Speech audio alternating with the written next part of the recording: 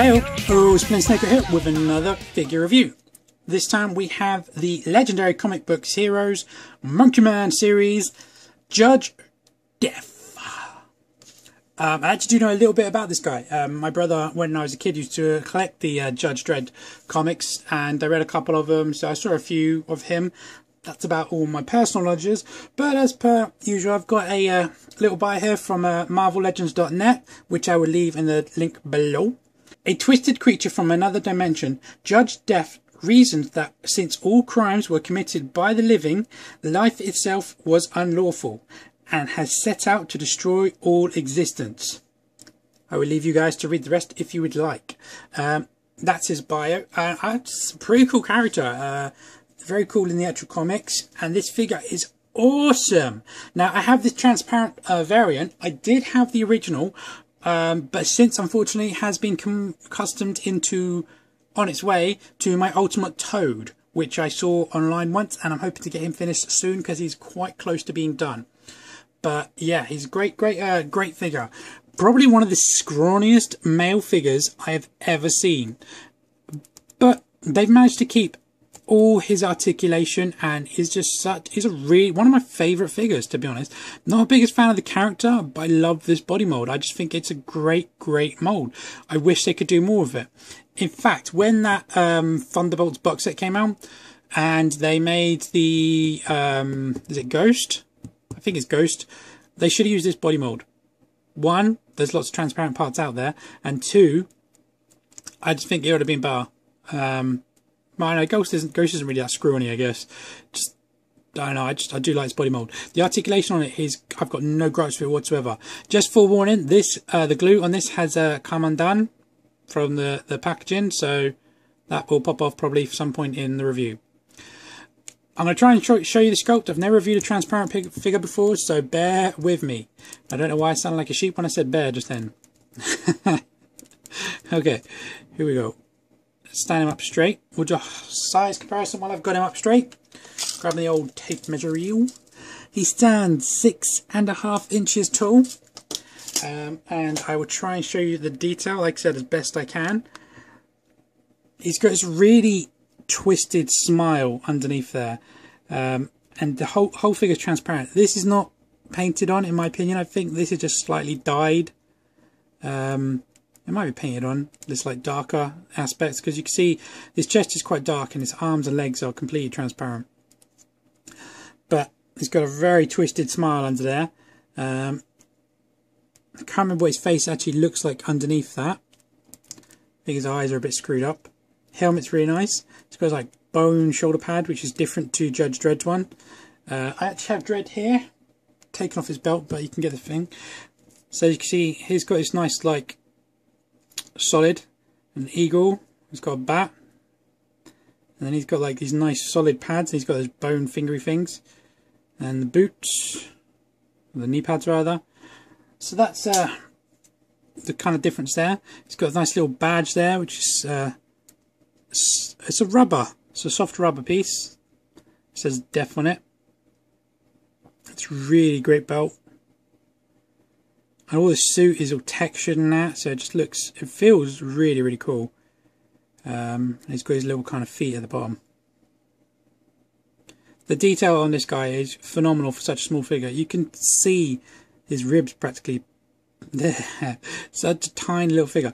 This would also make a great custom job for the uh, Metal Gear Solid 1 Psycho Mantis uh, I would probably more than likely use this if I was going to make them but I was kind of going for Play Arts Kai ones. I believe they're currently making a Psycho Mantis, if I remember rightly. Can't remember.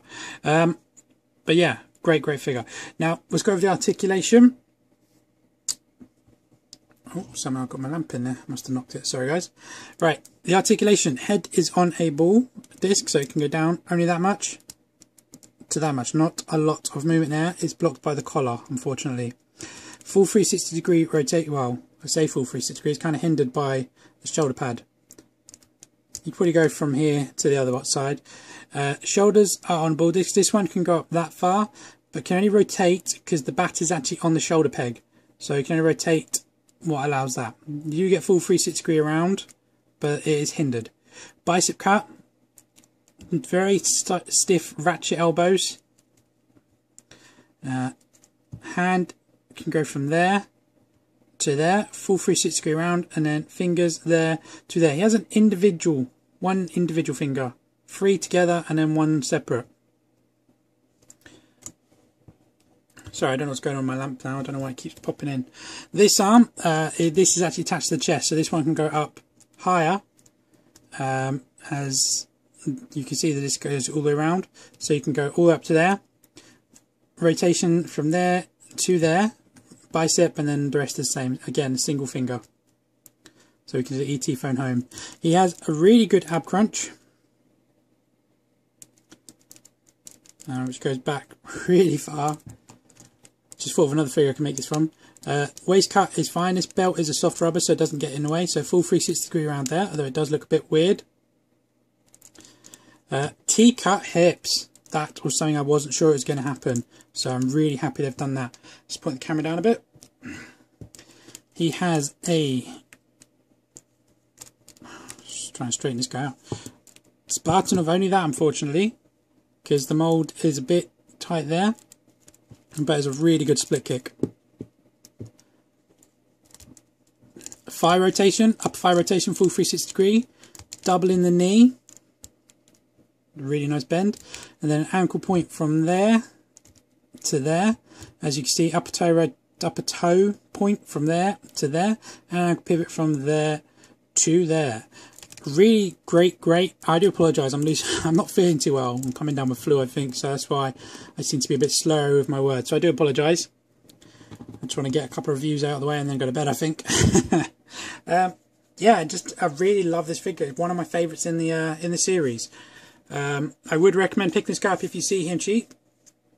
Um, absolute grace, awesome figure. Now here's Judge Dredd. I've taken off Judge Dredd's belt because um, I thought I had a second one. I was going to use his belt, but unfortunately I've already customized the second one, so this is all I've got left. So apologies about that. Um, but you can get the size comparison of them, and they do they would look absolutely awesome on your shelf together. Um, so there's them two.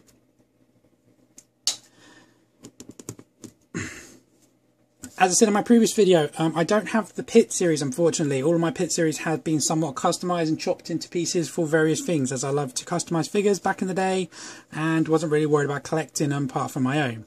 I regret this now, as I now want to collect them. but anyway, if you would like to see the Pitt series, uh, my buddy Glen Webb is currently doing them. Um, so I will leave some links in the description below and check out his site. He's a great customizer, great reviewer, um, all round. So check out his site. And on that note, I'm going to bid my adieus. So thanks a lot for watching, guys. Uh, please leave any comments below. Please subscribe. Please like. And I will catch you guys later. Bye-bye.